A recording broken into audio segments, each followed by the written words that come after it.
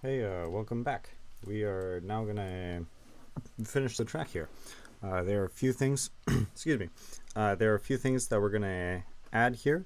Uh, notably, we're gonna add vertex colors, we're gonna add a waterfall, we're gonna add some animated water, and uh, and we're gonna change around the color of the mushrooms, and yeah, we're just gonna make the, you know, go through the process of making the track one more time. Although we already have the um, we already have the KMP done and we don't really have to change that anymore. All right, so the first thing that I want to add is uh, some some height right here, depth right here, uh, so it looks less less abnormal. So go into edge select mode, and then we can control click to pick shortest path, and we could also do this here. And uh, I'm just trying to think how much will you see down there, and you will, but uh, I'm going to do something with that, so I'm going to hold off on that. Uh, I'm also going to add down here.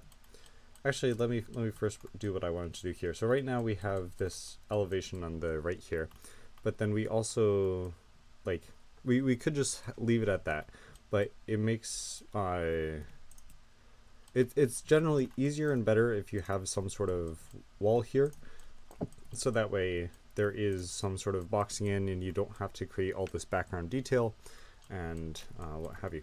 So uh, I could have done that better.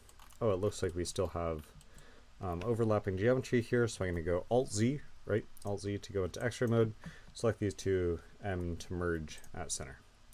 And then G, uh, looks like we have proportional editing on. You can see if I'm moving here, I'm noticing that stuff down here is being affected? So O to turn off proportional editing, and it's now GY, and maybe GX, GY. Okay, uh, Alt Z to turn back off X-ray mode, and control click around here. That is the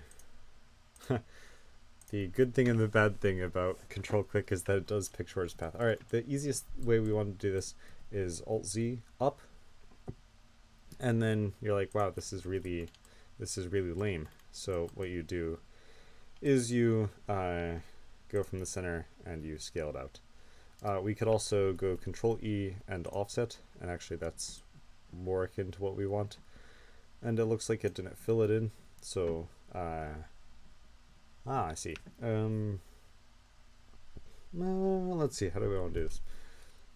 So this is what it's doing right now, and what we could honestly do. Let's let's see if this works. Let's see if this works. I don't know if this is going to work well or not, but uh, let's try it. So, um, oops, I want to delete faces, not vertices.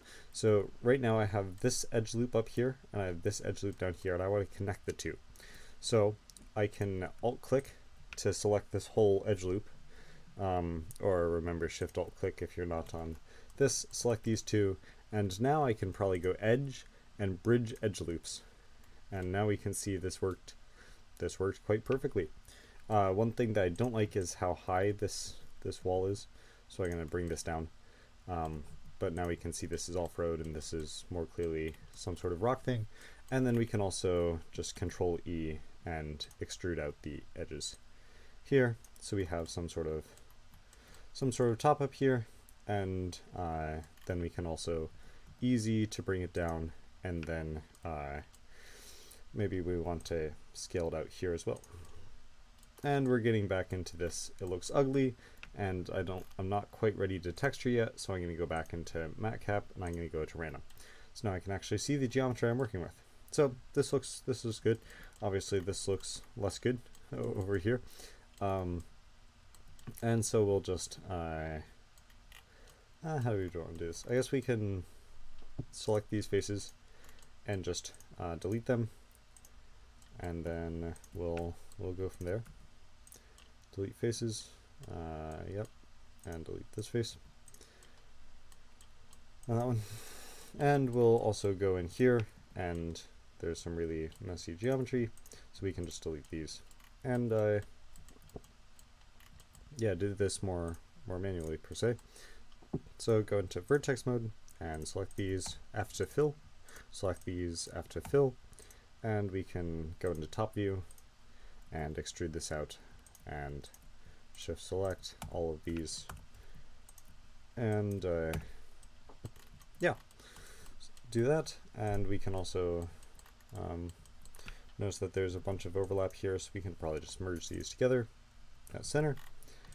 And uh, let's start filling out some some things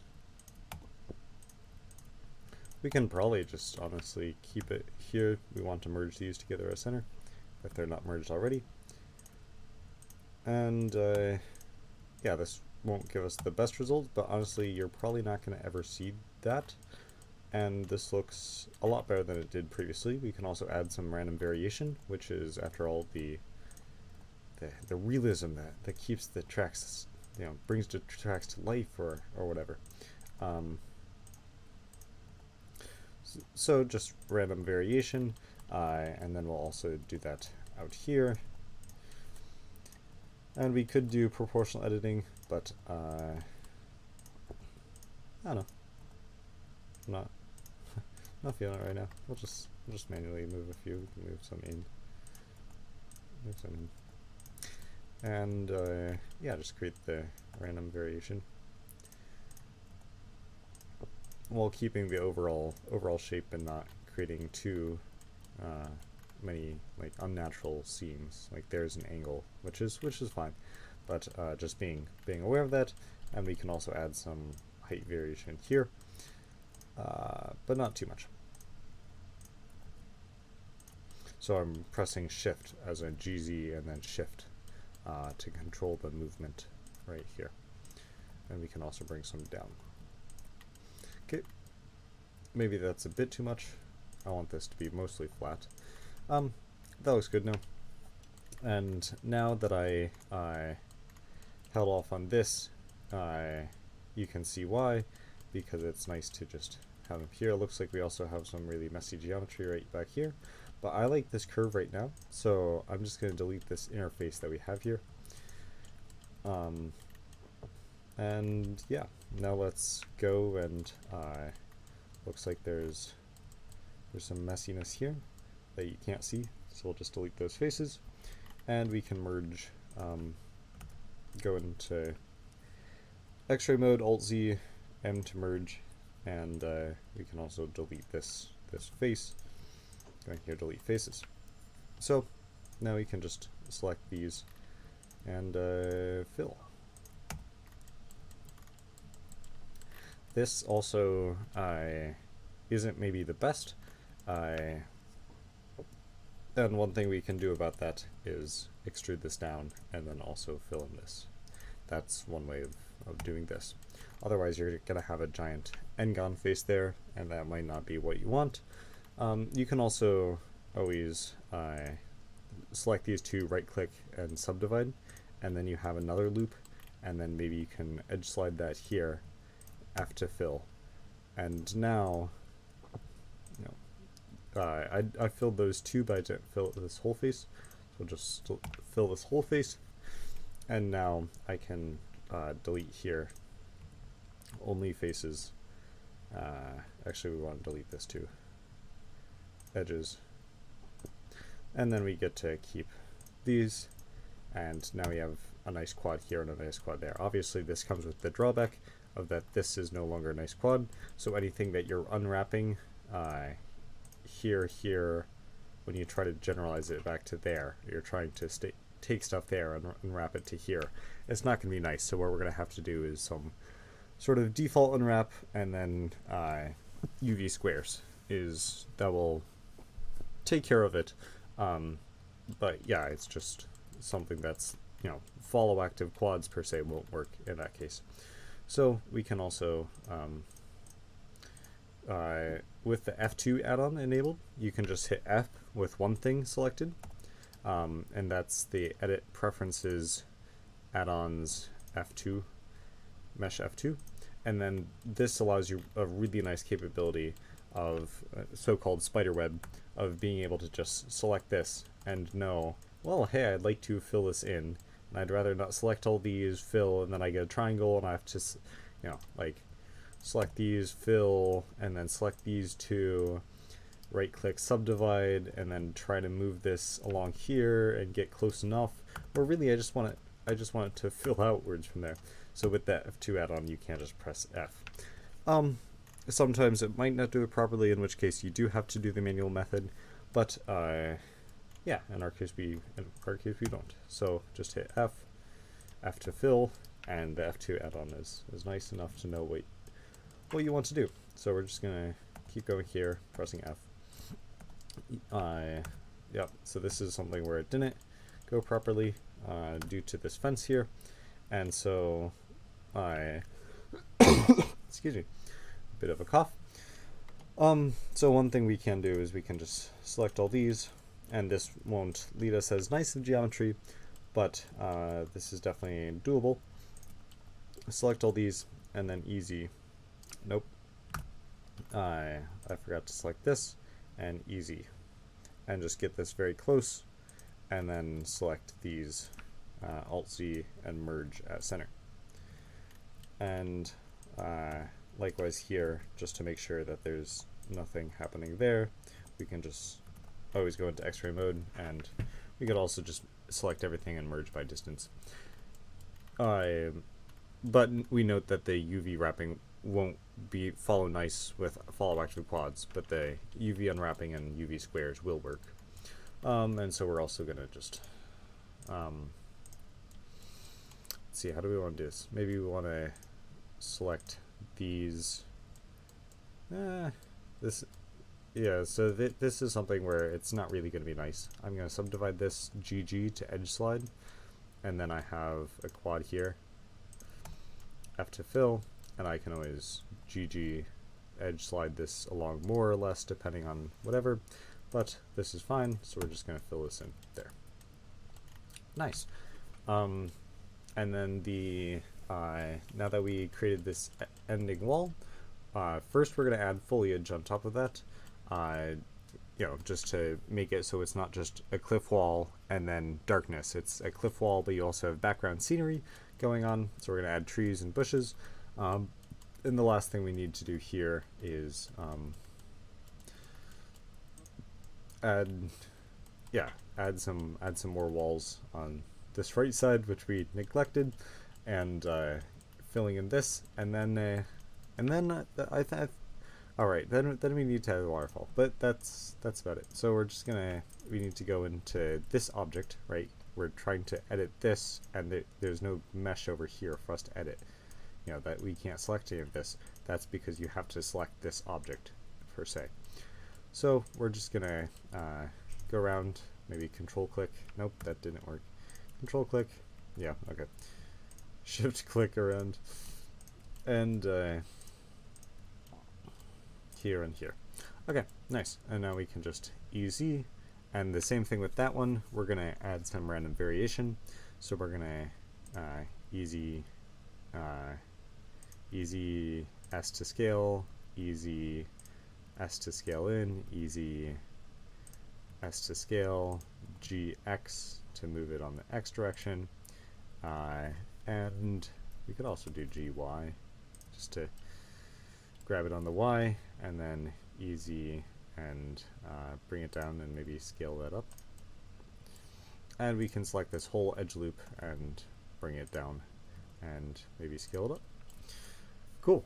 So uh, now we just need to if just go around making sure this all looks all looks correct um, you're not going to mostly see this edge, so I, am not going to add as much detail as I did over here. I'm not going to go out of my way, though I, you're more than welcome to. Obviously, you're not making this exact track, and so, you know, I maybe this rambling isn't as as helpful, but uh, hopefully you're getting some amount of, you know, what is the process I'm going through when I'm making the track, um, and so on. So um, we're now going to start merging up here. So a cue to zoom in and I can also, here's another cool uh, hotkey is uh, number pad slash, and then it just isolates in on this object and everything else disappears. The way we get out of this is by pressing number pad slash again. Right, but we want to zoom in here and just merge some stuff. And merge some stuff. M to merge. Uh, like, well, there's nothing to merge over here. Uh, like you could try to go up here. So what we'll just do is right click, subdivide, and now I have, now I do have stuff to merge. M to merge, and uh, M to merge. Nice. And now this last part here, I, have this that I need to fill in, so I'm just gonna go around here and select these points, merge. This is a lot of a lot of my modeling is just selecting points and merging. Alt Z to see through objects. But mostly just, yep, merge. I don't know what I'm doing. I'm gonna merge. I don't know what I'm doing. Merge. And uh, yeah, now we have this back. Uh, we're gonna press number pad or, or slash to get out of it. Um, and the yeah, now we're gonna add foliage at top and then a waterfall, and then we'll be done. And we'll actually, yeah, get this going back in game. So shift right click to uh, move this 3D cursor, and then actually we do have these trees already. So I'm just gonna steal them because why do work when you don't have to? This is a good question. And we'll just uh, Control D or Shift D to duplicate. Shift D, R, S to scale. Shift D, R, S to scale. Shift D, R, S to scale. Shift D, R, S to scale. Shift D, R, S to scale. Shift D, R, S to scale. Nice. The now obviously we have to bring this stuff upwards. Um, GZ. And uh, we can keep some of it down here, maybe. We can keep that down there. Maybe move this up. And I think in general these are too large compared to the rest, so I'm going to scale them back down. Cool. And uh, yeah, that's now we also want to add, yeah, we could also add some gravestones up here, or tombs. What's the difference between a gravestone and a tomb? The tomb like more, I don't know, what is the difference between a gravestone and a tomb? Is a tomb like, does it have to be the whole, I was to say buried underground, but that's not, it's not quite right. You know, like the catacombs, is that, is that more tomb-like than a, than a random rock in the ground? What makes what makes one rock more more notable than another rock? Uh, anyways, we still have some stuff floating under, so we're just gonna select these and uh, bring them up, raise them from the from the ground. Is that a is that a biblical thing? Uh, anyways, so this is, we're, we're definitely not in tutorial land anymore. We're definitely in, I am making a custom track. Uh, and maybe you're enjoying me uh, do it and maybe you're getting something out of it that you that you didn't know before. Um, actually, so we've added we've added gravestone as decorations, and the last thing I want to do, uh, I keep saying last, and I'm gonna keep saying last uh, for a while now. Um, I want to add a pumpkin. Why? Because I already have the texture for it. So if I go back in uh, flat texture, let me see, what does these trees? Yeah, those trees look look fine. Uh, th this one is floating a bit too much for my liking.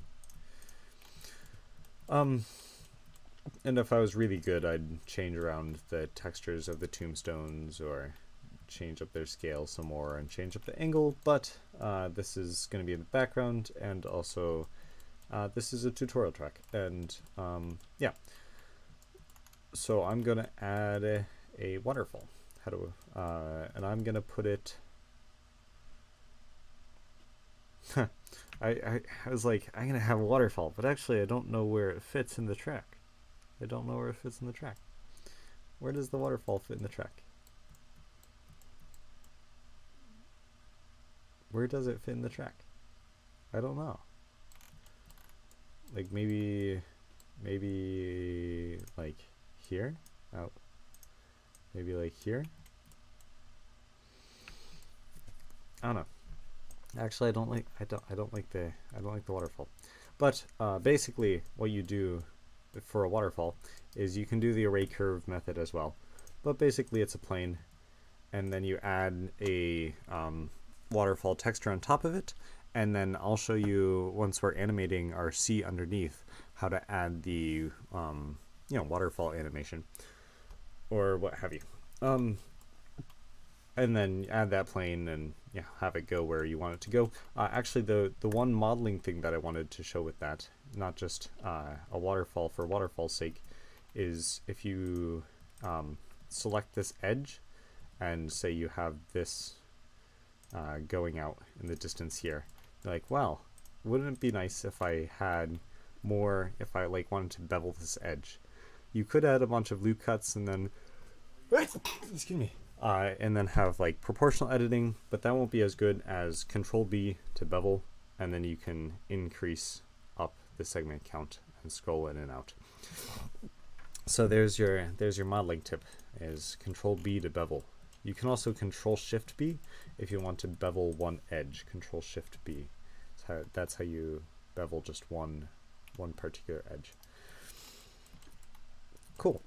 Um, Okay, well I'm just going to texture the rest and we'll we'll go from there. So I'm just going to add a, bun, a rock texture on the edge of this and uh, maybe I'll... Here's the question, do I have a different rock texture? Well, let me show you what I'm thinking. Do I have, uh, let me add a new material and a new image texture. Uh, hold on, full screen. Sorry about that. Um, so I have, uh, let's see, I have like this texture here. I have this text, this rock texture.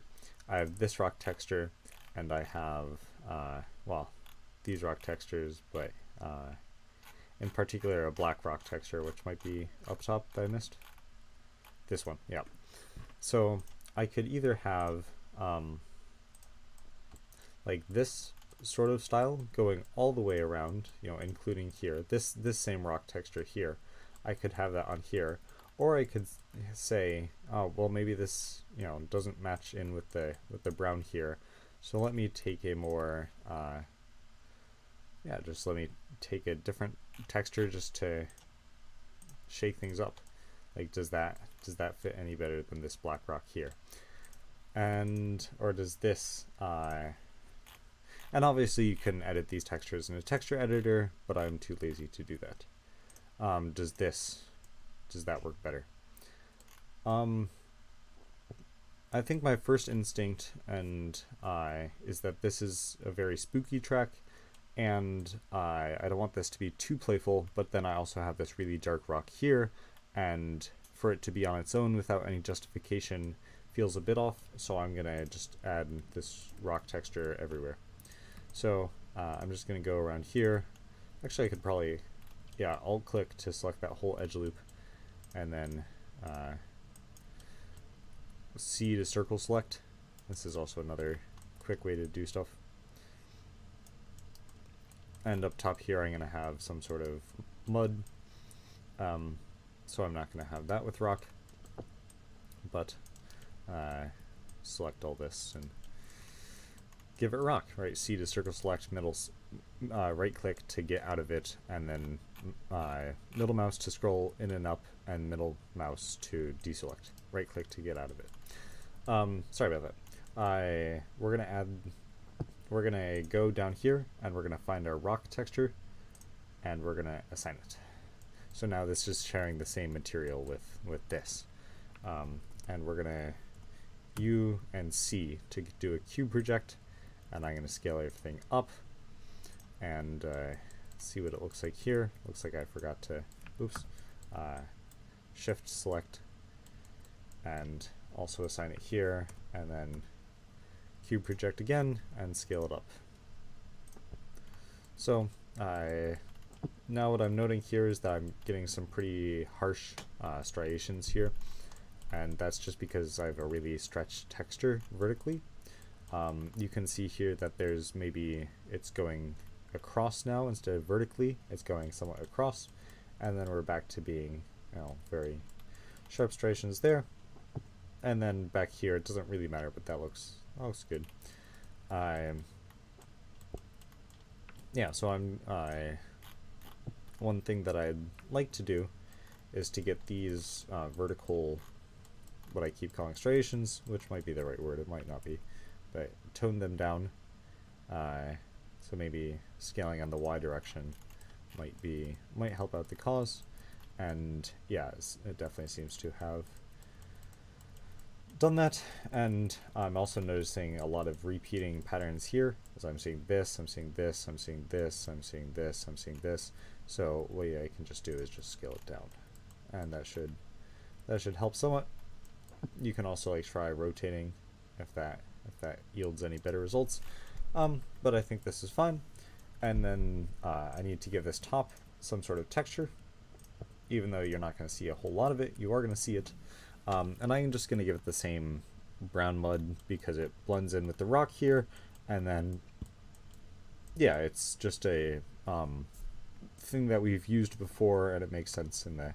So I'm going to, you could probably just yeah, UU to unwrap.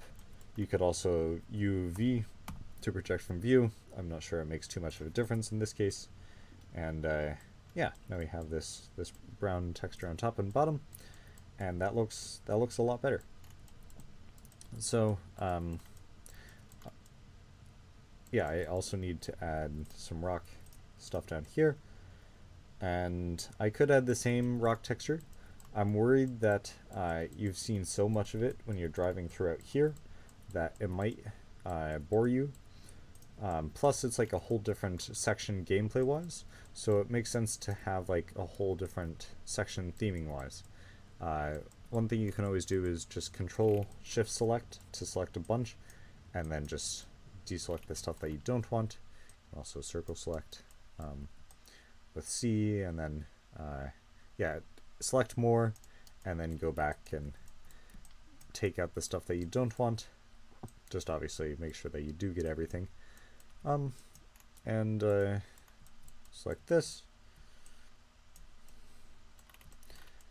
And that seems to be all the all the stuff here. And let me now give this give this our new um, new texture, and I'm not sure what I want this texture to be yet. Like I said, I want to keep this dark and gloomy, but uh, at the same time, I don't want it to be too bad. I guess I could have this as like a almost man-made thing, even though we did add some um, you know, detail there. Um, so maybe not. Uh, let's see. We could add this ash rock. Yeah, that might that might work. And then cube project will probably probably work well enough for rock and uh, you can see I did not select oh right so right now it has the different you know it's assigned different road I actually have to assign it this um, yeah just assign it that and I'm gonna scale it down so we're getting less of a repeat and now this yeah that, that looks good I obviously this is maybe not looking so good is this really sharp transition from um, yeah, rock to rock to road. I and I guess what I can do, um, actually I might just do that. Yeah, I'll do that. Uh, is like give it reason for there to be such a sharp divide, or you know this is more a man-made structure. Why is it that way? Um, like what can we use to indicate that this is that this is man-made? Um, and uh, what I'm gonna do is I'm gonna add a oops select more, and then control to deselect. And then what I can do is I can just add a small fence thing here, and I'm going to make it really small. And I now need to select this part, and uh, we can also select this part, but I don't know if it'll work super well. And control select. And uh, now let's give this a fence texture. We could have the same fence texture as here, um, and we might do that. Uh, we might also use some of our other fence textures. I tend to use like a bajillion textures um, just because I feel like, you know, it adds that extra bit of, you know, contrast and, you know, just difference, easy way to get a difference between the sections is by really having a different color, a different texture that you're encountering. Like these two roads being different um, just adds that, you know, difference that I find I find interesting. Plus, it means I get to showcase all the textures that I have, um, and it's really the textures that drive the track a lot for me. So this, uh, even though it's good, it has a black background, um, and it's not actually a transparent background, which is unfortunate. Unfortunate, fortunate. Um, we have this rope fence. We also have this. Um, and then that's the one we have used before. And I think I'm gonna go with this fence texture. Um, and then I also need to um, actually, yeah, so right now a lot of it is transparent. So I'm gonna select this. Nope, that didn't do what I wanted to do, unsurprisingly. So this might also be better in solid mode, so that way you're not trying to deal with transparent stuff. But if you go to UV editing, and if you UU, and then scale it up, you know, this is a just good way of saying, oh, what does it look like? Well, right now it's going, you know, the opposite way of what I want. So I'm going to rotate by 90 degrees and scale it up till it's, till it's at the bounds of this. I'm going to scale it on the X so I'm getting, yeah, stuff like that. And that, that looks good. Except it doesn't look good. Uh, right now this top part is, you know, you're clipping and seeing the bottom part again. It's repeating in the space. So let me do that. And uh, also bring this up here. And then at this uh, very edge, we're seeing some uh, clipping there so I can uh, go to this edge and then GX and shift uh, to make that smoother. Likewise here, we don't really want this being cut off, so we're just going to select this edge. You can also select select the whole thing and try to scale it up or down, but that's trying to control both ends at the same time, and it doesn't really matter if this is stretched just a tad more than over here. People aren't going to notice that. So uh, I'm now going to do the same thing over here. And I should probably also call this fence, which I can't spell. Fence 2. Um, and U, uh, UU to give it a default UV map. It's going the wrong way again, like this is facing this way. Uh, so I'm going to rotate by 90 degrees, scale up on the Y. But again, we don't want them going over, and that seems fine. And then we can scale it on the X and just make sure that they're roughly the same um, width apart and that seems close enough. Uh, here, yep, that's a good cutoff there and here, um, this is also a good cutoff. That is some good luck we had right there.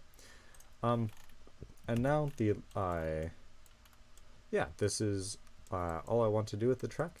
So uh, one thing right now we're going to do is we're, we're, we're done right now with our course model. So now we're going to go through making the course model again, make the collision again, the KMP. Uh, we're going to have to change some of it around because we scaled up the track, which means that we're going to have to you know replace things. But that shouldn't matter too much. The thing that we will check right now is our normals. Um, and uh, unsurprisingly, our fences are going to be weird. We do want to swap these though, um, because uh, when you're making the collision, like e even though in the course model these are going to be two-sided, um, in the collision, what's happening is this is going to be the back face, so you, you're just going to fly through the fence right now. Um, you'll you know get a slight slight clip per se, but it won't won't actually stop you. So what I did is Alt N to bring up the normals and then flip um, you can also try to like recalculate outside or inside, but I just manually select the ones I want and flip them, and then the rest of this, it's all looking good.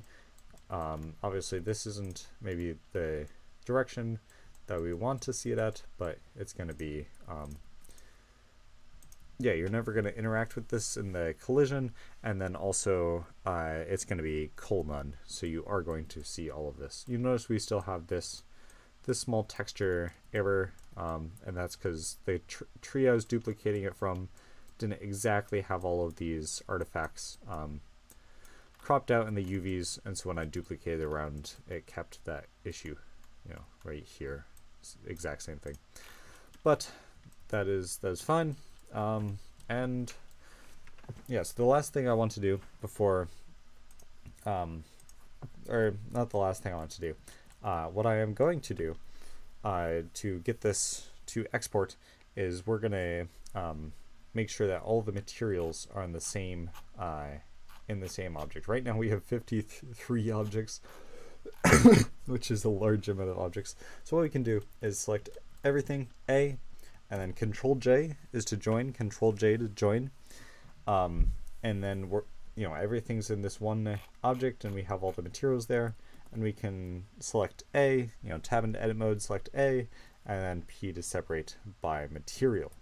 So now, right now, all our rocks are in the same material, our road is in the same material, our uh, mud here, our gravestones here, our mud here, our gravestones there, our uh, trees, our bush, you know, etc. Um, and let me just, if you look down here into the material tab, you can check, you know, do I have any repeat things? Um, where we gave them different materials, um, even though they have the same texture. And what you have to do for that is you just have to join the two objects, um, like select this and this, Control J, and then remove one of the materials. Um, but looking back through here, it does not it does not seem so, and this seems all good.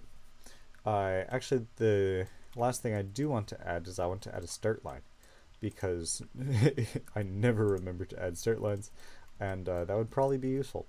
So I I want my start line to start right about here. Um, remember, because I want to, I, I guess I'm like right now judging the mushrooms when you're coming around here. Uh, do you immediately, you know, land on, you know, in the air when you're crossing the finish line, or do you have some amount of landing on the ground? Um, and then I'm also trying to say, well, you start here and then you turn and turn, and I'm trying to balance that. But I like here, and I'm going to add loop cut with Control R, and then I'm going to select this face, and I'm going to P to separate by selection, and then now I have this object. I'm going to remove the default material. I'm going to get a new material, call it uh, finish, and uh, image texture, and I'm going to grab a finish line texture which I'm pretty sure I have. Yeah, here we go. Um, and then I also want to UV unwrap this because I don't want the road UVs. I just want, um, sorry, ah, it's all the way over here. And I'm going to rotate it by 90 degrees, and you can see we're already pretty close to what we want. And scale it up so we're at the top of the, you know, we're getting the whole bounds here. Then I want to scale it on the X so that that looks maybe good. And right now we're getting some stretching. Why is that? That's because we're using a square right now and uh, there is some curvature in the road. So maybe I should have this as uh, scaled down on the Y. And you can see this already makes it more square. What I'm going to do, I'm going to add some loop cuts here. And you can see how this know, flattens it out. Um, it's still not perfect, um, but uh, that's that's a lot better. And then you can also uh, you know re UV unwrap this, rotate 90, scale it up, I scale it in on the X, and uh, scale it up again maybe, and scale it in on the X. And you can see how, yes, this is a lot straighter, but then we also have to deal with this. We can do two grid by shape, and uh, now we get some of that distortion again, which, okay, it's just something we're gonna have to gonna have to live with. Uh, you notice right now, if we were to rejoin these together, this is just one face, whereas if this this is many, you know, so you're gonna have some n-gons here when these intersect, but that's that's fine. Um, cool. So this is also a different object than the rest of the stuff. If I grab it, nothing else goes with it. And uh, I guess I also want to um, check these are called tree this is called Road, just making sure that these all have sensible names. I think there's still one that has a material name, which isn't very helpful, like this. We're going to call it Rock 2. Um, yeah, and now all these have sensible names. we're going to uh, file export and we want to export as an FBX. Cool. Uh, right now we're in the textures folder because we're going to use RiiStudio and uh, when we read in the DAE from RiiStudio it needs to be needs to be here. We're going to export just the mesh. Actually, actually, actually, actually, actually, we're not done. We're not done. Why are we not done? Because I want to add vertex colors. Uh, to add vertex colors, you go uh, here and you can go to uh, vertex paint. And now what we can do, uh, we can go, if you go to the shading tab, it might be easier to see um, because it's automatically set on this viewport shading mode. Um, and, uh, oops. One thing I can do is I can shift A to add in here. This is the node editor. Uh, and we can search, um, oh, uh, shift A, and then when you're in here, vertex color. All right, let's totally let's let's pretend that I didn't totally just go look up how to do this because it's been a while and I've only done it a few times. Uh, this this is the shader uh, setup that you need to have. You need to have for vertex colors. You need to have your base image texture. You need to have your vertex color. If you go over to this uh, object data properties panel on the right, uh, the green triangle thing, you can see your vertex colors. There's this default color which we're using, and then we're plugging these in and setting factor to 1, and then importantly we're changing this multiply node from uh, mixed to multiply, and you can add nodes, nodes by shift A and then searching mix RGB, um, and then switching that over to multiply. And then changing that in your base color. Uh, vertex colors also allow you to do some uh, vertex alpha. That's with specifically this alpha channel um, and you can blend together textures. Right now I'm just going to add colors over top of it, and I've already done some of that. Basically, you just go to uh, Vertex Paint, and then you choose your color. I'm going to choose something that's akin to this, um, you know, mud here, and maybe even make it a bit brighter, and then you can just draw on top of here. And you can see, yeah, it's, it's being added. I can, if I do all of this, you can see obviously the effect that I'm getting there. Um, and you can change the strength. So if you want, yes, I want more darkness there, um, or saying, oh, I just want, I just want a bit of, bit of stuff. Um, and yeah, that's that's vertex colors. Uh, I'm not any good at it, but that is that is the basics. One other thing, uh, and then obviously it doesn't look correct in layout, or not obviously, but it doesn't look correct in layout. Uh, but if we go to object mode, you can't see the vertex colors anymore, uh, but in the shading, you still can see the, um, yeah, vertex colors. Uh, if one thing that I'm not going to do, but that can be helpful uh, when you're making your own tracks, is to add a, um, no, it doesn't doesn't really matter. But just for illustrative purposes, and we're not going to do this here. Rotate by 90, Shift A to add the object. Uh, R X R Z 90 is how I type in there, and GX GX right. Um, uh, scale X as well, SX. Um, what you can do is you can add a boolean modifier, and then I can select this object that I want and I want difference and I'm going to choose fast. And then if I go ahead and apply this and delete this object you can see I've now cut a hole through my actually I kind of like this. Yeah. We're, we're gonna keep that. I, yeah we just cut a hole through our um, object and that's that's the boolean. There you go. Uh, some other settings that you can use with it. Uh, is here we go. Uh, you can join together uh, two objects. Um, you can only take their intersection. So if I did only intersection, it would only take the stuff within the cylinder. Um, and then uh, typically I've had uh, problems with exact and fast seems to do what I want. Uh, there seems to be like duplicated vertices and uh, things not quite correct. fast seems to fast seems to work. Okay, so, uh, but I do want to do that, so I'm going to uh, just apply here, Control A, and then delete this. Um, you can also, like, oh, I'd, I'd like to know what this looks like. What you can do, you can go in your Object Properties uh, panel here, and then you can set the visibility to just be bounds. Um, uh, viewport display, and then just show the um, wireframe instead of the actual object. Aha, here we go. There's the bounds. Or I guess we want the wire, right? Yeah, and now you can see if you scale up this uh, cylinder, you can see what it's doing, right? It's just cutting out anything that it touches. Um, yeah, and so that's that's one trick you can do is go over to object um, properties and viewport display and go wire or bounds. Um, but in my case, I'm going to apply it and uh, oh, this this object is what's cut into and then uh, apply. Cool. Um, and delete that. And there's that. So uh, what have I done? I've done some vertex colors. I've shown you how to do booleans. I and we've corrected the normals.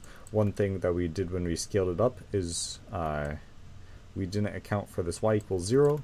You have to make sure that your whole course is above y equals 0, and it does look like that in this case. So we don't have to worry about there. Our normals are all correct. I've said that before. We have a start line, and uh, yeah, I, I think this is you could maybe like have it this be trickable or not, but I think this is good enough. Hey, I'm from the future. Uh, I'm going to go ahead and make the BRRES. The first time I did it, I ran across an issue with RiiStudio, and I'll now show you how to fix that, which I did not know at the time. So here's our model. Uh, right, we have this arch over here. With our boolean, we have these vertex colors. Uh, I forgot to include that you should have it on clamp, uh, but I don't think that should change too much. If you also want your materials to look better, um, you can turn down specular to zero, and that just makes it so it's not shiny everywhere, which isn't how Mario Kart does it. Anyways, let's go ahead and let's go ahead and do this. Uh, create the FB or the BRRES. So we're gonna call this V3 um, and scale 100. Export FBX. Uh, removal. Add. Let's get this version 3 FBX. Convert it to a DAE. Convert and then we open up RiiStudio.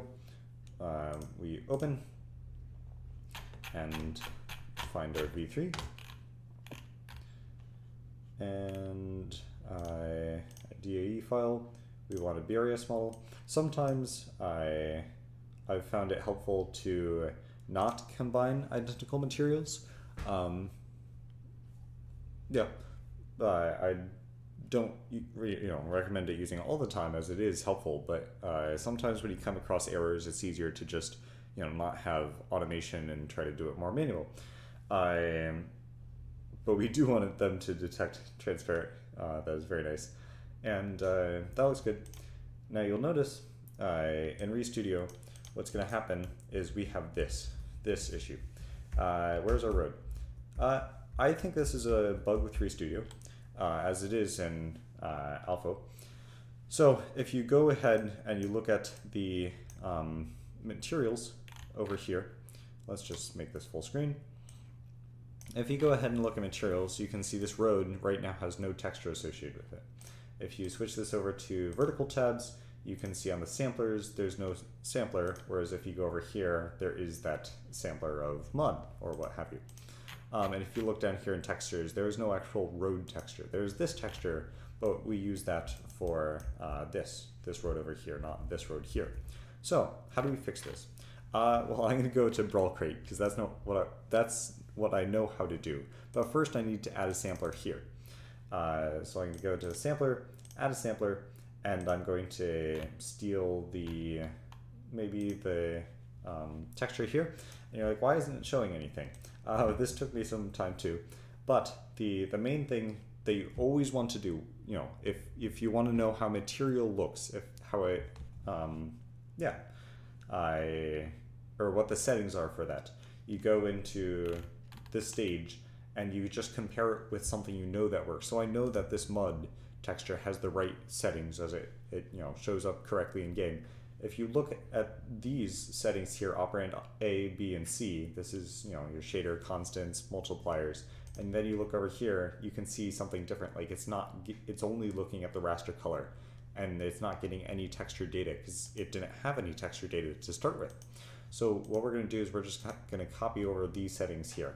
So we want operand A to be zero, and then we want this to be what texture and then raster? Yeah. So we want our texture color and then our raster, which is our um, vertex colors. Um, and now you can see it works as per normal. Uh, we just have the different material and then we'll go ahead and fix this in Brawlcrate. Uh, the rest of the settings, those are all the same. One thing that we don't have, if you look at samplers, is we don't have this MIP maps turned on, so we should turn that on. And one thing about these MIP maps right now, they're blurry. Uh, I kind of like the pixelated look um, or not pixelated, but just the, the blurry doesn't quite doesn't quite fit right. Uh, so I'm going to do that. Um, and yeah, so I'm now going to save this as, um, right now you have to specifically say save as and version 3. And it automatically overwrites, which uh, there should probably be something to fix that. Um, yes, these are my previous, let's see, where, where am I going? I'm going to I'm custom tracks, and uh, it has been some time. I so I have my DAE file here, and I'm going to or BRRES, and I'm gonna stick it in the stick it in the course model. Sorry if I'm going faster, uh, because I am going faster.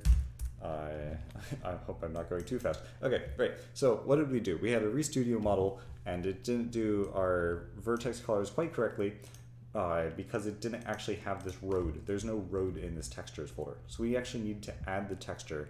And right now there isn't an add texture in RiiStudio, so you have to import a texture here. Um, and we're going to find our road uh, texture. Cool. And the CMPR is what we want.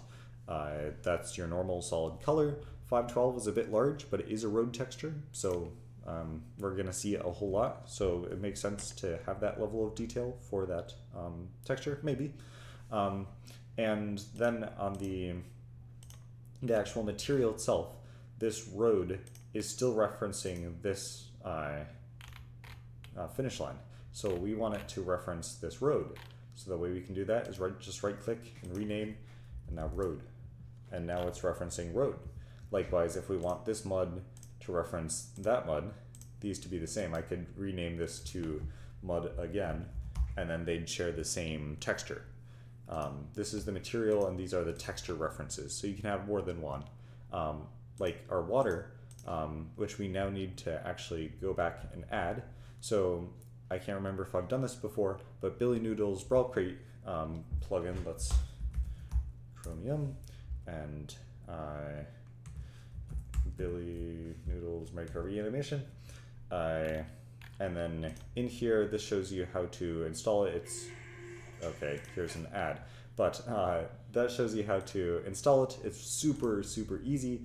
Um, and then uh, I have a bunch of things that I've ripped, which all suck, like they're so bad, uh, animations. But uh, you, we can go down in Mario Kart, we just water. Um, the, the default uh, lake it, what, what you do is you'd go to, I, I can't remember if I showed this or not, so I'm just going to show it again. Um, and in, in any case, it's, it's good. Uh, you can take, uh, you know, go to a Kart Wii course, you can extract it out, and then you can say, oh, maybe I want uh, old, uh, let's see, what do I want? Old Obake, that's our Ghost Valley. Um, and maybe let's look at our course model. And uh, if you look at all these materials, you, uh, actually there's no animated textures, so this isn't, this won't work. Um, but you go maybe to Treehouse course, which is um, Maple Treeway, you can see as animated textures, and each one of these, this is your boost panel, this is your half pipe, and then this is your C, um, or your water, so you go into this materials and then you find your C um, and you can see it has three texture references right now. Uh, yeah, and they blend between those and do different stuff. But plugins, Mario Kart Wii animations, and then at the bottom, there's an add animation. And I apologize for the echo. I didn't bother to actually properly set up my microphone. New preset, and then call it, you know, you can call it like uh, Maple Treeway Water, and then EFC, and it will just automatically have it. So that way you might have to restart your application. But when you go back here, then you can go in your plugins and go to Mario Kart Wii Lake, import that, and over water.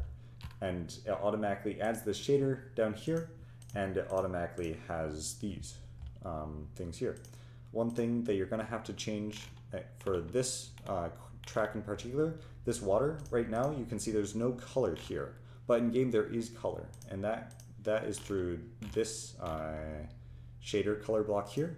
If you click down here, they're right now blue. Um, so this also works with different objects. So like fire snakes, um, you'd go into this shader block color, color zero, and switch it to um, something that you want. So I'm gonna switch it to a, a green, and then I wanted, I'm not gonna show alpha so I can actually see what color I'm looking at. And I want this to be a pretty dark green. Um, that looks good. And down here, um, show alpha. You, yeah, I don't know exactly what all these colors are. Um, but maybe let me go for something on that end, uh, just for a bit of blue tint in our green murky water. So uh, yeah, now we added a lake. I you know imported this uh, animation, and then we changed the color on that. And uh, I'm from the future, so uh, I know that when I play this course, um, sorry, let me go back to it, and aha, here we go. I I know that right now the uh, the default um, what what do you call it? My VR Corn the the skybox. There you go. Uh, is currently intersecting with the track uh, and we don't want that. So how do you move the actual skybox? What you have to do is you have to go into the bones. The bones, the bones, the bones. And uh, then here's the scale, and we can just increase the scale to, you can delete everything and say three. And uh, if you make your skybox too large, there's a certain distance at which Mario Kart Wii just won't render. Um, and so you'll get some clipping artifacts um, but three times should not cause any of that. Um, and it avoids me having to deal with Blender and KMP, like the actual coordinate system of Mario Kart Wii. Like, what's the actual translation? I don't know. Like, it's kind of painful. X, you know, there's this X, Y, Z, so this is up or what have you. Um, that can just be painful. Um, and the way you do that is actually, I forgot to mention this last time, but um, if you use the Gabriela's KMP plugin utilities, uh, which is super awesome, useful. Uh, you can you shift right click to your 3D cursor, and then you can grab your position from your 3D cursor, and then you can copy that and you can paste it into KMP Cloud. You know, just click this and then Control V in KMP Cloud, and it is awesome, a lifesaver. So you actually don't have to calculate any of these, you know, conversion between Blender to uh, Wii uh, coordinate system. Awesome. Um, and I think I've shown you the link for the KMP utilities. If I haven't, you can search um, Chromium uh, Blender KMP utilities. Um, yeah, and uh, in the description here should be the actual plugin itself. Yeah, And just download that and go through the steps. It is awesome, 100% awesome. So I, yeah, I scaled up the skybox. I, um, what else did I do? I, well, we, we made it so the course actually now functions and I, then I'm now going to uh, my future self will leave myself, present self to do the KCL, and then I'm going to help out in the KMP as we need more mushrooms, and so I'm just going to do that. Uh, all right. So I we're now going to Control Shift S to then uh, save this as V2 uh, KCL. And uh, now we're going to get all our road together and join them in the same object. And here we can just nicely uh, do this in Control J and remove all the textures, get a new material, and you know have this as light blue and call this as road. You can't see this because you need to be in material preview, not solid mode. Solid mode is only looking for textures. Um, can you? No, you can't do material. Um, this will read, you know, the actual base color. Uh, here we want this to be maybe some uh, slippery off-road. So, uh,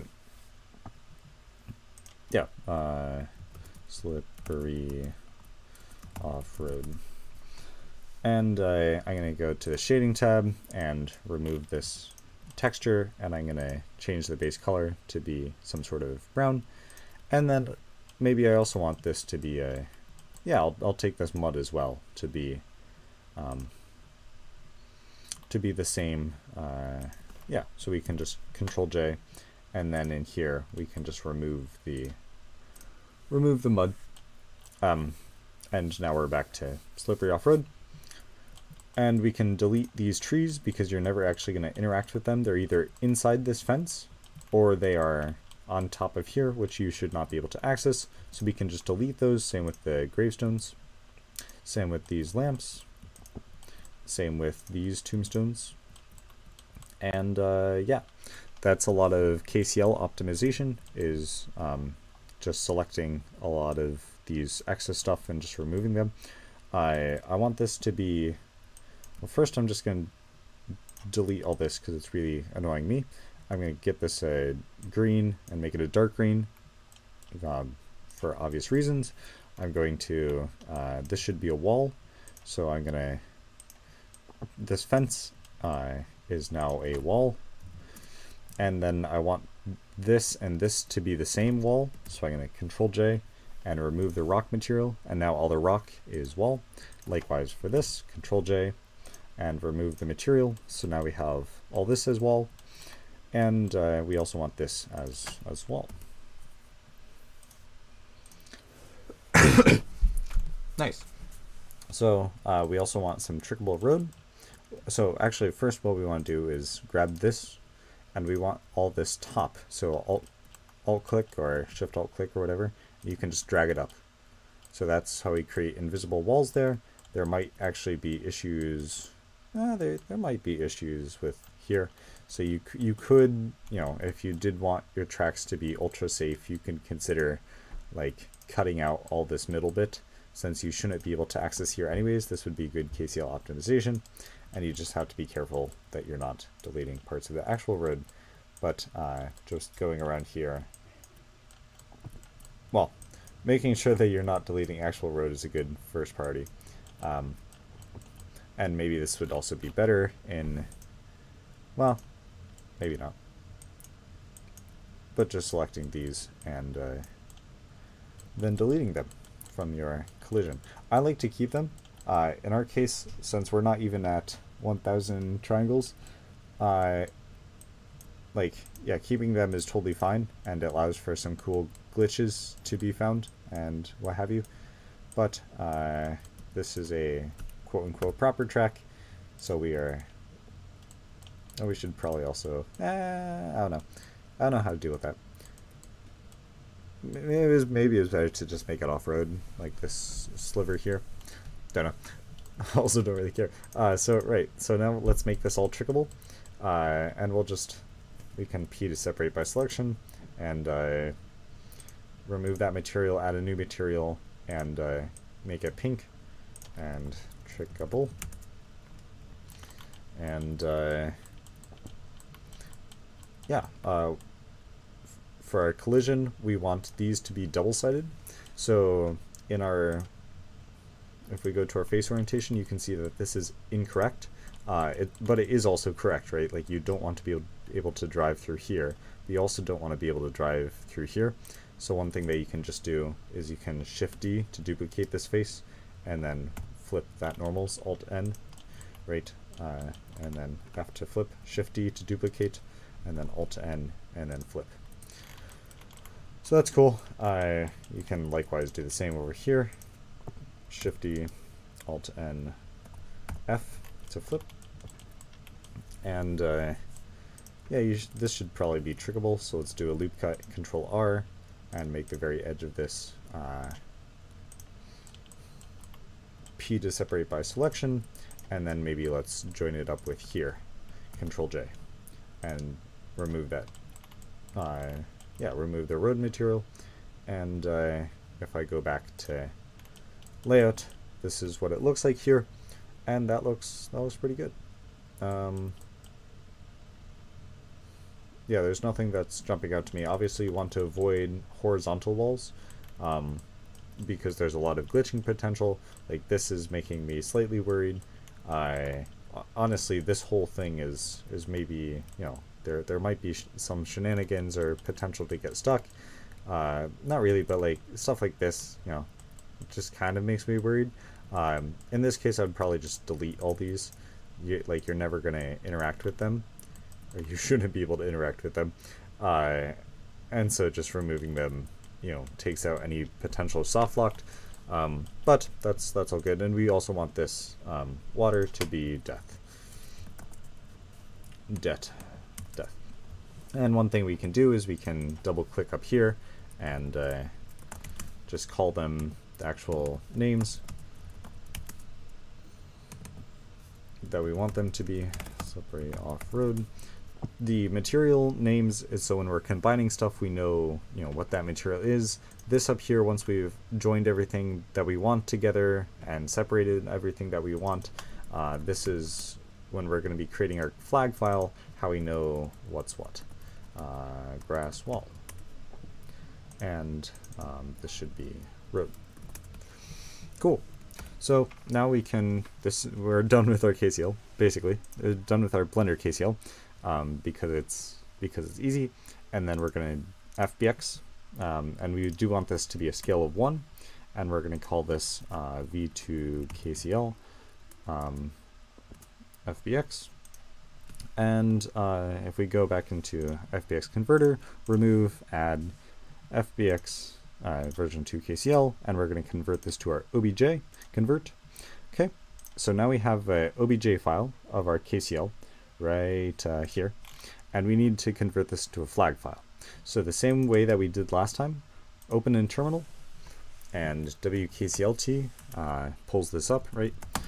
Encode, or create flag file, which is CFF, and then you can just uh, grab this OBJ and drag and drop into here.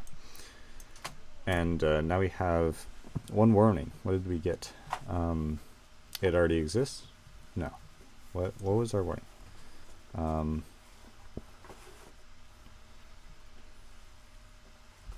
four okay it's it's saying four of 1000 triangles have invalid values that is 100% fine. Uh, four triangles is not something to be worrying about. Um, but if we open up this flag file uh, with notepad plus plus or whatever have you you can say this is what our flag files look like. Um, and so I yeah. What we want I I'm gonna use f uh, function for this because I'm most familiar with this. This uh, follows the obj to kcl um, conventions um, but you can use flag files uh, for example wexo's toolbox um, wexo's toolbox right now is uh, down because I it needs to access the internet for whatever reason. Uh, but you can also just search here KCL Flags. Um, and uh, obviously it, it shows you how to type A is is maybe the is maybe the preferred way to do things, but I know type F, and uh, as seen last time, I don't know what I'm doing. Um, not on type type A. But uh, type F, what do you do? You do, uh, we want to find, let's say, uh, I wall, but with uh, the grass effect. So I can just go up to the top of the page and find wall here and 0C. And it's going to be, I want a bush. So that's going to be 0C, and then I want 005 is bush. So then I go over here into my flag file, and I say this um, grass wall, I want this to be, uh, first I'm going to uh, start recording a macro, so I can easily just get the um, f function, and uh, go here, I stop recording, and then Control Shift P, which I did incorrectly. Really? Really? Control Shift P. Okay. Oh, I see. It's not quite down. Okay. That's good. Uh, but each, you know, object name is now associated with this with this f function. So for the grass wall, we said it was 0c, and then we want this to, if this would be trickable, we don't want this to be trickable, and we're going to have this as variant 5. So our road is, this is correct um, for default road, and I don't see any reason not to use default road. Uh, for slippery off-road, we can go to uh, slippery road, uh, but does um, that slightly slows you down, and we want this to be mud, so this is going to be 05, 001. Um, yeah, and uh, yeah, so 05 and 001. And trickable road, this is just going to be 00 for our road, and then we want uh, this to be a trickable bit here. For our wall, we want this to be 0C, and then we want this to be 4. These are walls that have been lowered. Um, yeah, so you don't get bean corners um, where you go over an edge and then you get caught up on the, the wall beneath. Um, this is the flag that Nintendo uses to signify that.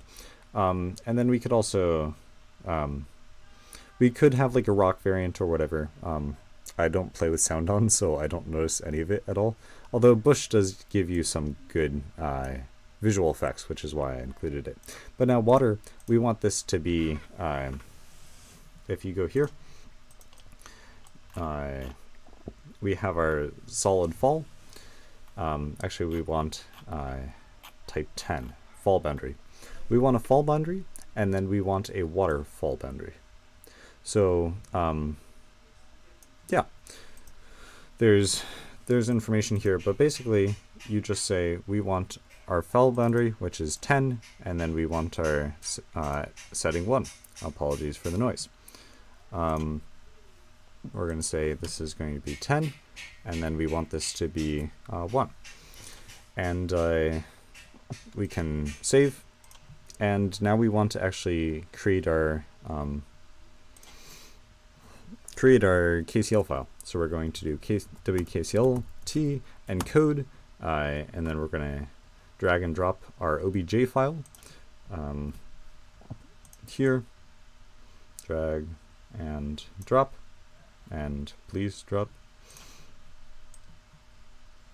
no, okay.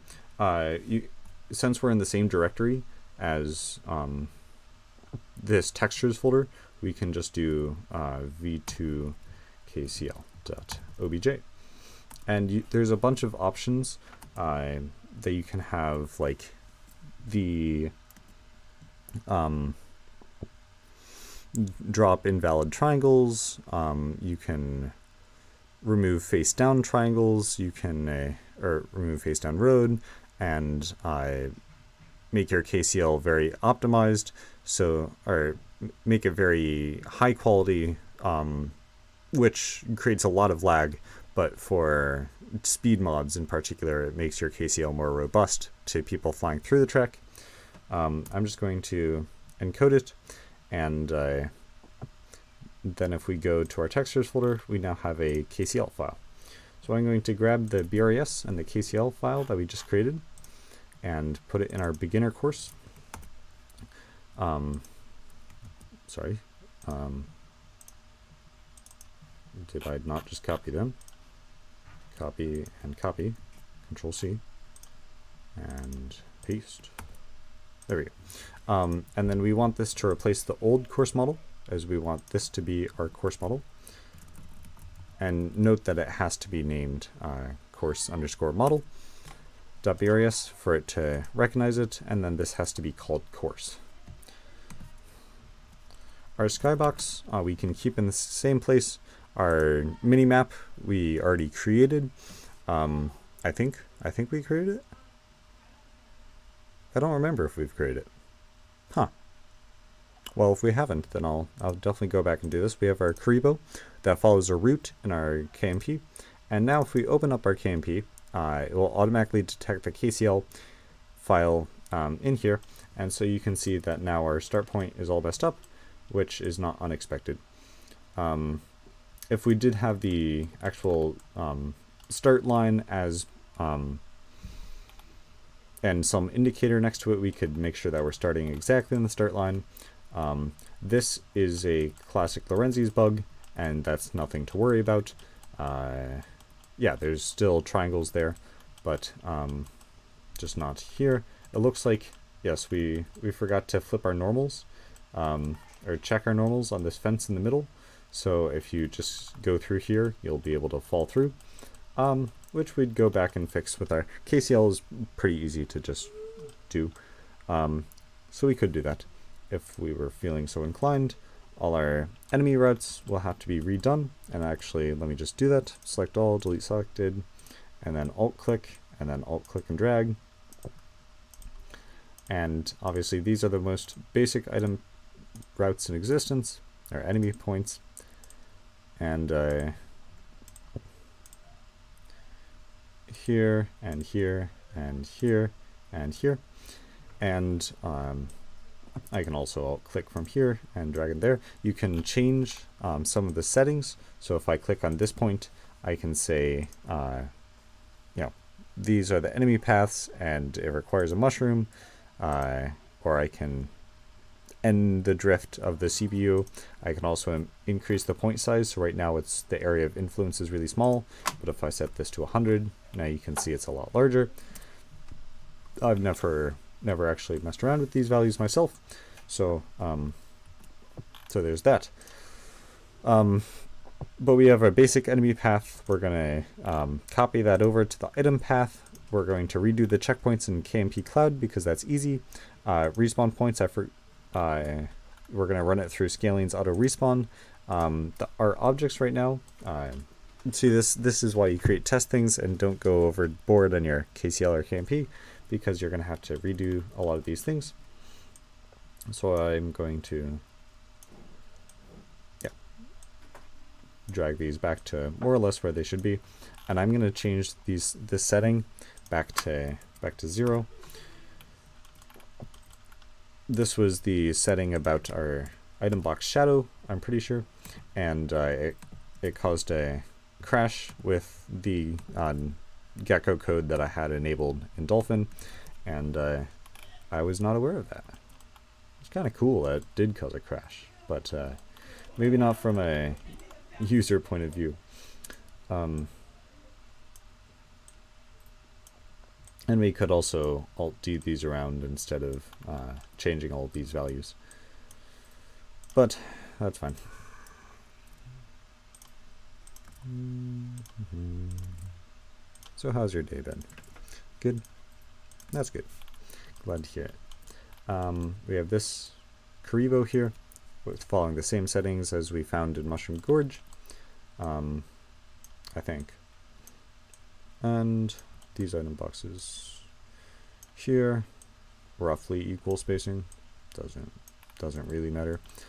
Um, you can do this in a line tool in KMP Cloud, and then they'll all be in a line instead of, you know, placed by hand. But KMP Cloud doesn't have good 3D, and there's you have to run a Python script so that way your objects are down here and not out in the random middle space. And I didn't want to do that. I don't want to do that. Uh, yeah. Um, object in here that I would like to be able to reach. And nice. Uh, so these, yeah, let's change the height values on, yeah, okay, they, they defaulted to the water beneath. All right, this is future self jumping in. Uh, now that you have all the objects, I'm just going to alt click and drag and to get more mushrooms so you don't fall off every two seconds. And it's okay if some of these are overlapping. Um, yeah, that's that's all good. Um, that's kind of an established thing. Obviously, you don't want it too much overlapping, but it's sort of established in the universe um, of Mario Kart Wii custom tracks that you do have overlapping. Um, and, ah, shoot. Ah, okay. So when you, yeah, I'll click and drag it automatically. Places on the ground level. So uh, I'm just gonna copy this coordinate, y coordinate of 2000, and uh, start start pasting this value. Ah, if there was only a better way to place objects. There is, but actually this this might be easier in uh, KMP Cloud. This might be. Actually, let me just do that. Let me do that. Do I want to do that? I don't know. It might not be easier though. Because most of these we do want, like, we're to have to have some height variation eventually. Uh, and I, in KMP Cloud, it's hard to tell which one goes where and how much these actual changes in elevation matter. Right now, I'm just to give them all a default 2000 so I have a, you know, base plane of what I'm looking at and then I can shape elevation from there. Wow, this is more tedious than I thought. Um, obviously, you can, well, I can't remember if I've said this before, but uh, scaling the objects means that then you have to scale it on the in the bones of the BRRES file of the uh, Kinoko object, um, which I'm not super inclined to do right now, and so this is the this is the lazy solution. Okay, so now we have all of them at uh, 2000. Apologies for the mouse sound, it's probably actually really irritating. Um, and now we're gonna have some of these have more height. So we want this to maybe be, well, let's let's try 3,500. 3,500, nope. Let's try 5,000. No, 5,000. That looks maybe, no, that looks right. Um, so let's just have these at 4,600 because 5,000 did not look right. Uh, 4,600, 500. Um, and then we'll just, uh, yeah, we, we could just speed up to this part. I might do that in editing if I, if I have enough motivation to do so. 4,000, 3,500. I guess the main thing is you just don't want these being impossible to do which uh, it was definitely the case the first time around without all these extra mushrooms, just because, yeah, mushrooms are not that big. I did not know that because I do not work often with, with mushrooms. Um, mushrooms. Um, one thing that I do have to be cautious about is that you can't just go off here and, yeah, maybe, maybe I do want that and, as part of my track, but just being very aware of, you know, people trying to take the tight line, can they do that? And how you know how many yeah it just changes the dynamic of the track uh, and is that a good thing or a bad thing? So um, yes this is this is peak Mario Kart Wii modding right here. And uh, one day kids you can do this too. X to delete. Uh, 3000 and actually I want one in between here at 2,500. Yeah, I think uh, 2,500 maybe, and 2,500, and at 3,000.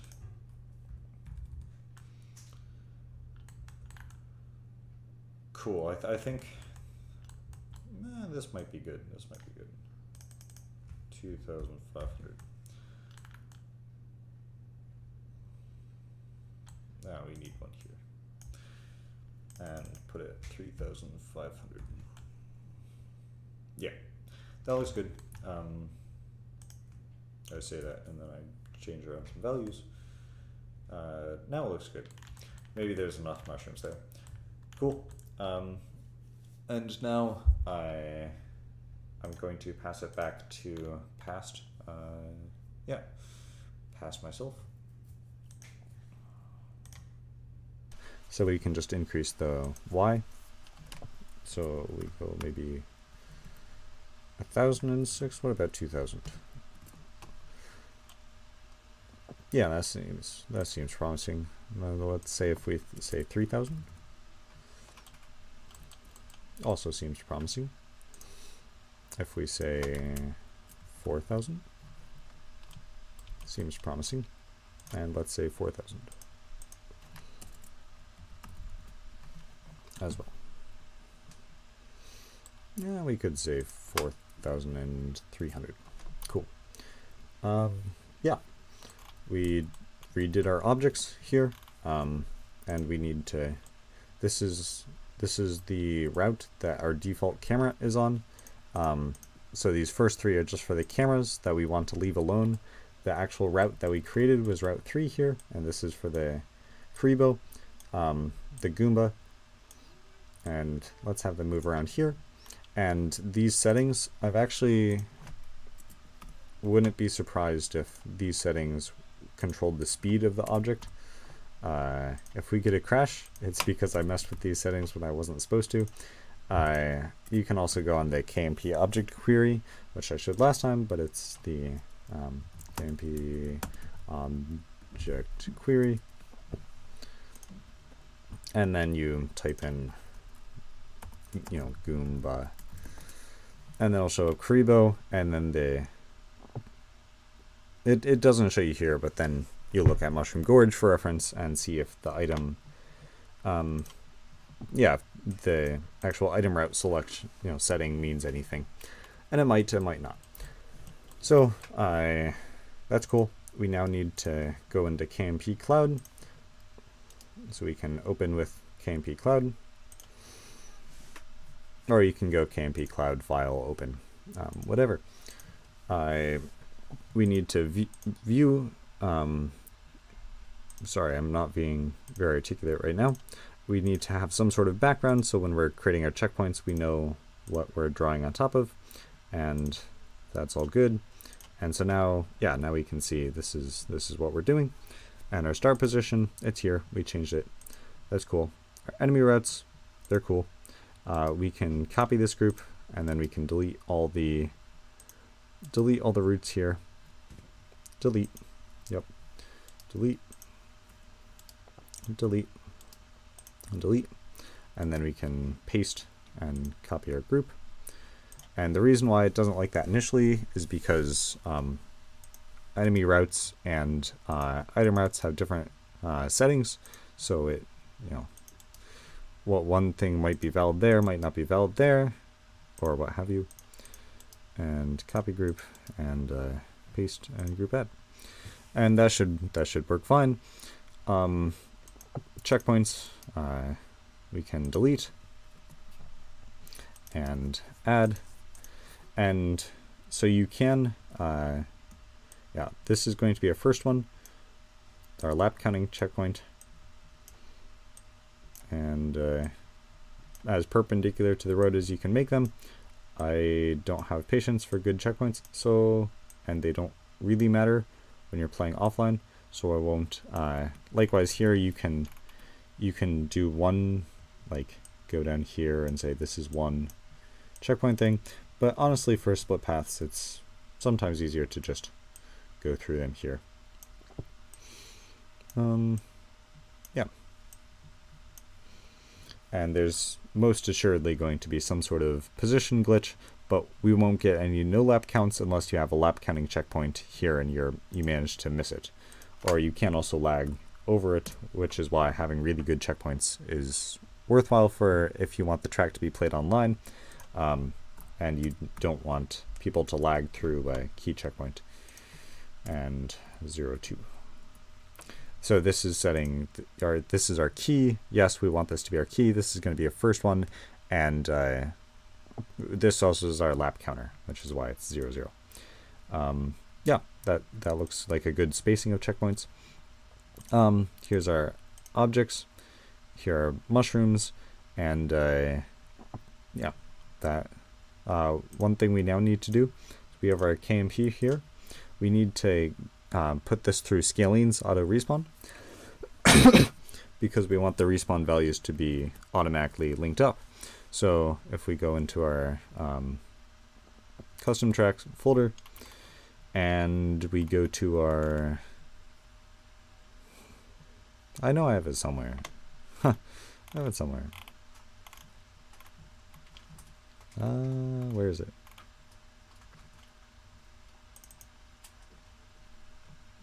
I have no idea what that is.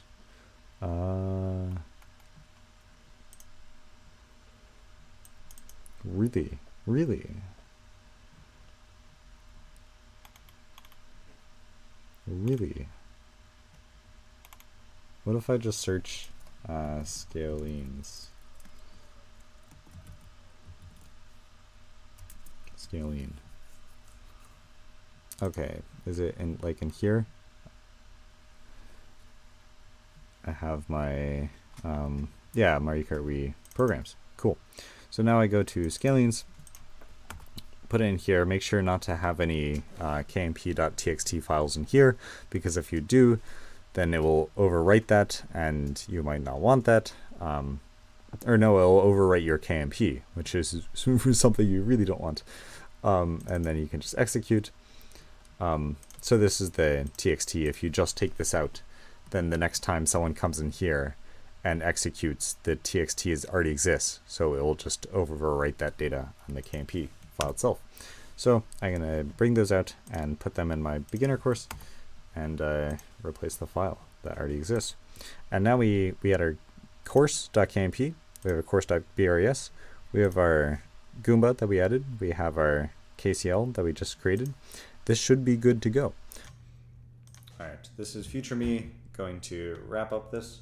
So we've made the edits to our KMP, we've made our KCL um, with the create flag file um, command, and then we've done our course model, and we've uh, added that water effect and we've changed around those values. One thing that I forgot to change that I'm just remembering now that would be nice to change is on the materials, RiiStudio automatically culls the backside. We want like the fence to not uh, cull the inside. We want to keep all of them. So we're gonna cut cull none of them. Uh, grave, likewise, same thing and uh, grave likewise same thing. Lamp likewise same thing. Tree likewise same thing. And that should be it. Um, yeah. And now the final last thing is this Kinoko BRRES uh, obviously I talked about scaling it and you can change the bones of these uh, and scaling it up to two. Uh, I've never dealt with many of these. I don't know what to tell you there. But one thing that I can do is look at these textures. These textures, uh, if you notice, all of them are are sharing the same. Or there's there's one that's that's using the union. Yeah, this is using the union, or some combination thereof. And you can you know see what are these textures. Uh, that's for light and dark. Uh, but we want to change these textures to not just be uh, what do you call it? Red. That's that's the color. But we want it to be some sort of you know uh, more gloomy green dark one. So uh, you can right click and export. And you want to export this as a PNG that sounds good. And we'll also export this one as a PNG and then uh, we can go into our textures folder and just uh, edit these. Uh, right click, open with paint.net. And we can probably even just use the fill, fill tool for this with some alpha. So uh, go to our fill tool and then we want to change our color to be some sort of, this is a good dark green and we can add some maybe blue to it. And we can also add some alpha to it. So that way when we fill in here, it uh, it doesn't just overwrite it. So if we had no alpha and we filled it, uh, or if we had, yeah, yeah that's no alpha. Um, and then as we you know, increase or decrease alpha, I think this right here is maybe a is maybe a cool. Actually, I want more blue in the color. I want I want no, I want more green in the color. Ooh, that that's looking. Oh, that's looking off-settling, which is which is good. Maybe I don't know. So we, the the green one we don't care because we're not using that variant. But let's let's see what this let's see what this this does. Um, so we'll we'll save it, and then we'll uh, also open the. Oh yeah, you can definitely see the difference there. Uh, you know, open this as well, and we'll just uh, just do this. Yeah, good enough. And file and save it, and then uh, last thing, we've created these new textures, and then we just need to uh, replace them with uh, themselves, basically. So this is Kinoko Union, and uh, I'm trying to find it, and I cannot. Uh, there we go, Kinoko Union so now we've replaced it with this. CMPR is solid and first off with uh, sketch uh, transparency but not alpha or right, that that's not right. Um, what do you call it? Either either off or on. Stencil alpha. There we go. That's what it's called. And the default settings are fine. And we can also uh, replace this and with the with the copy and uh, CMPR is fine, and the MIP levels is, is fine, and we can save that. And now we're finally ready. We've done our course, we've done our map models, or no, we're not done. Last thing we need to do, uh, the final, final, final, final, final, final, final, final, final. Um, we need to create our mini map. So I'm going to copy and paste these because this is all of all the things that we want. Uh, actually, I need to create a new uh, right click on Blender and get a new application of Blender open. Um, we're going to create our mini map. Uh, so new general and uh, AX delete, and then go in here. Oh, that's the canceled track, and you'll never see, it will never make the light of day. And Q does, you know, number pad period or Q. And uh, yeah, this is this is our road that we want to turn into a mini map. If you're if you don't have it nice and segmented, you can do the same thing that you did for your KCL in joining all and then just selecting the faces, you know, A, Control J, and then just selecting the faces that you want with control clicking or circle select, C to circle select, um, or you know, a combination of uh, one L is to select linked, I don't know if I mentioned that uh, hotkey.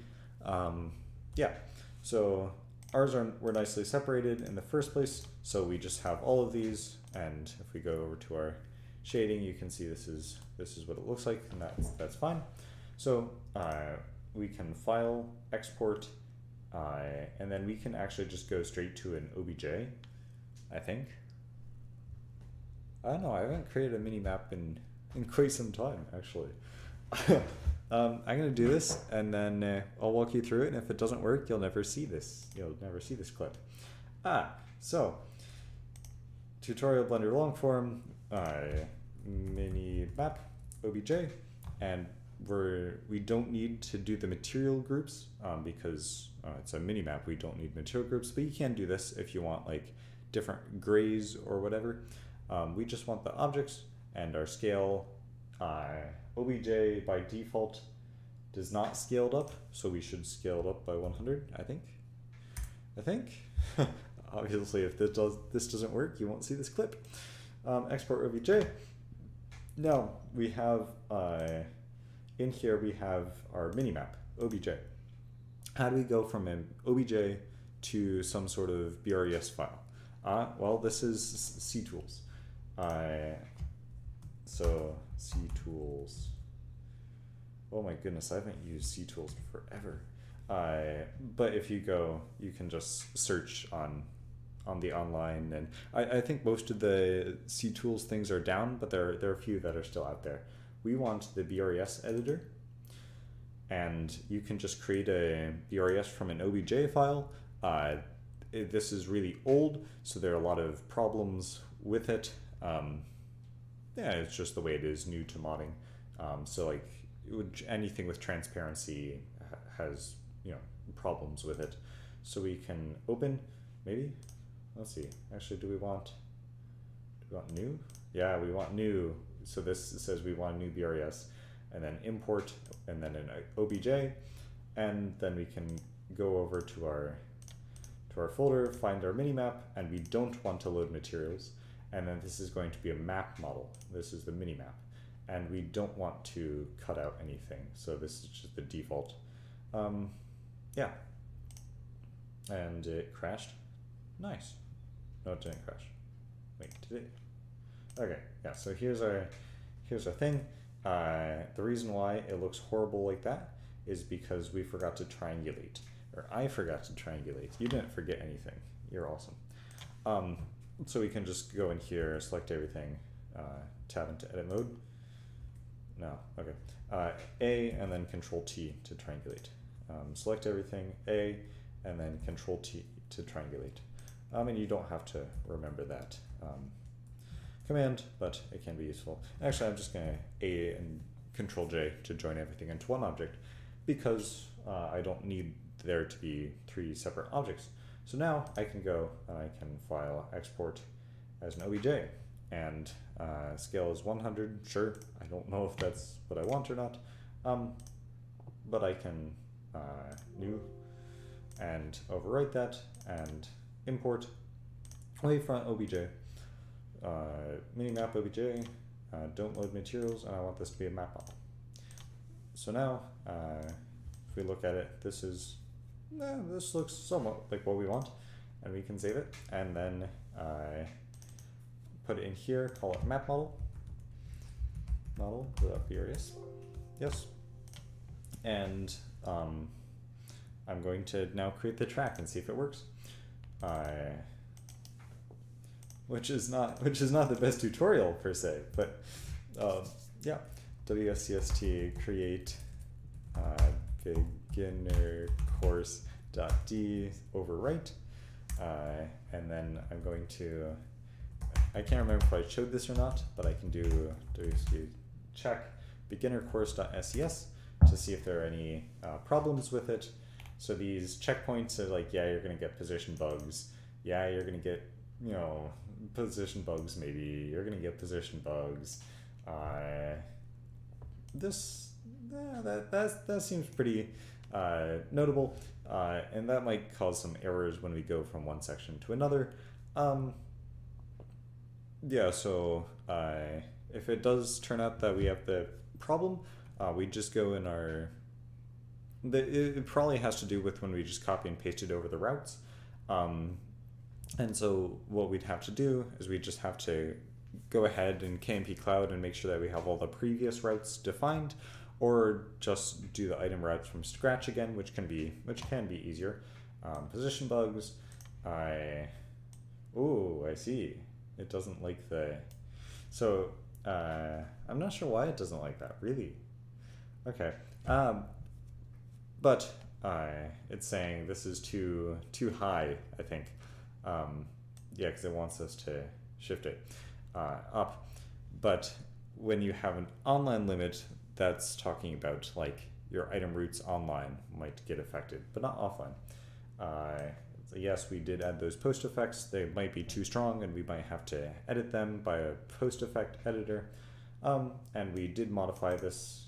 Uh, we're missing the item box BRRES, which I forgot, which, uh, which is why this is useful.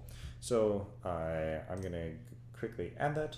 So just any previous course uh, just go and oh this doesn't have an item box. I really okay. Um, hold on. Uh, what am I doing? I can't think at all right now. Kinoko course really? Okay Mario Kart Wii course. These these have item boxes find an item box, Control C. Uh, different item boxes are slightly different. So like Bowser's Castle item box looks different than um, Luigi Circuit item box, which looks more normal. Um, but there's not too many item box variants out there. Uh, you can create your own pretty easily just by editing the BRS file and those textures. Um, yeah, now we're in our beginner course and Control V, so we now have item boxes. That's what caused the crash the first time. Um, so now I have this, and I can uh, go ahead and WS. Oh, nope. Right click, open in terminal, WSZST create beginner course.d slash overwrite. Boom. And we could do the check thing again, but uh, I'm lazy, so I'm not going to. And let's see, we, I'm trying to figure, we, oh yes, so the last thing we need to do, uh, so we, we have our mini map, but we need to actually get this in the center. Right now it's going to be off at one angle or another, and you might not be able to see it or whatever. So what you can do, uh, WSZST mini map dash dash auto, and then uh, beginner course dot ses. Um, maybe want minimap patch. We can see if that works. Yeah, that, that worked. I, I, I haven't used this command in forever, but uh, it is what you do when you use minimaps. Uh, WSZST minimap dash dash auto. Um, and that just uh, should nicely center it. And then I'm going to go ahead and see if it, so it actually changed the SCS, you know, file itself. So I'm now going to see if this works. And I guess you may or may not see it along with me. And let's pull up Dolphin exe. And I actually have my controller with me this time. So the, um, the, what do you call it? Um, gameplay should not be god awful like it was last time. Uh, I'm trying to think if there's anything I forgot. A lot of this can be done, um, like, okay, I forgot a KMP object, or oh, I forgot a, uh, you know, some small KCL change. Um, the bigger, um, the, the bigger things are when you have like an actual course model. Oh, my, my course is scaled too large. Um, in which case you have to do everything all over again. Um, and so, which is why testing gameplay first is critically really important. Um, but here's our track. We can, yeah, we have, that's, that's looking good. We have the background in the background. We have uh, item boxes here. We have trees. We have rocks. We have graveyards. This is slippery off-road. Yeah. And we have you know, Lakitus yelling at us, and we have this water down here. Maybe looks a bit too much like toothpaste for my liking. Oh, but that's all good. We, we got we have some blue in the distance, uh, whether that's post effects or whether that's the um, shadier colors. If you run into this, we're going to get a bush uh, wall effect. And uh, let's look at these mushrooms. Yeah, so we can see we changed the color on them and now... Oh, I see. So some of them are still rotated, uh, which I forgot to forgot to change. And notably also, when I did the auto respawn, it uh, didn't know what it where to place um, the respawn. Um, so it just placed it over the kill plane, and so you know there there weren't any objects when in Scalene auto respawn. So it obviously does not know what to do. So you could just go into KMP and Lorenzi's and fix that, but that's fine. You know, that's that's a simple enough thing that I don't don't feel the need to fix. Um, actually, the gameplay on this isn't horrible, except these mushrooms. These mushrooms are god awful. They're like disgusting. Yeah, these are these are some good mushroom peaks mushrooms. Yuck yeah, so I I don't use mushrooms that often because I don't like them. Uh, but I don't know, maybe maybe this this will I don't know motivate you to also not use mushrooms, and then the world would be a better place. Ah, we have a track. Yay! Congratulations. The fully functioning track, all yours. Uh, and yeah, I like that. Okay, um, I could fix the respawn. I don't want to. Uh, yeah, I think I think I've shown you uh, most all that would happen. So I I'm also have additional um, short little five minutes things on how to create a mini map, how to create a course model. Oh, actually, wait, is the mini map on here? Yes, the mini map works. Oh my goodness, I'm totally blind to all these mini maps. The mini map works. I'm so excited. This is awesome. Okay. Um, so I've shown you how to do objects, how to do routes. I've shown you how to do animated textures. I've shown you how to create a course model, how to do test tracks, how to uh, do Blender, which takes a while and you know just needs a lot of practice. Um, there are several tutorials which I I do recommend, um, or like different channels that do more beginner um, Blender low poly modeling, um, and uh, yeah, we made a track, and uh, if you actually made it on this journey with me, thank you very much. Uh, I do appreciate it. Uh, feel free to contact me if you have any questions. Feel free to contact the greater community um, of CT creators. We're very you know happy to have new creators that are that are looking for uh, yeah tracks to make, ideas to be had, and uh, I, this this is this is nice and emotional. Anyways, I'll sign off now. Uh, good luck on your own tracks. Yeah.